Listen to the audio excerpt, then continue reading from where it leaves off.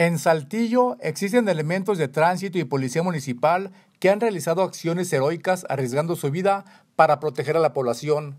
Por ese motivo, desde el mes de noviembre la presidencia municipal de Saltillo convocó a la población a proponer a elementos para obtener la presea al mérito policíaco. Se entrega en dos partes, en, en vida y post-mortem.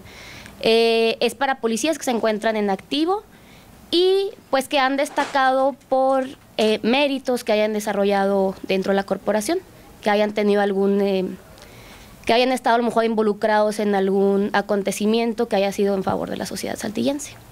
Este miércoles 27 de diciembre se cerró la convocatoria y las propuestas fueron casi nulas. Solo una se había presentado hasta la una de la tarde. Y por lo general la, la gente llega el último día a inscribirse.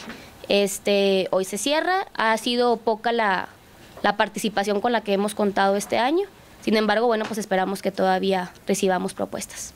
La presea se entregará el mes de enero dentro de los festejos para celebrar el Día del Policía.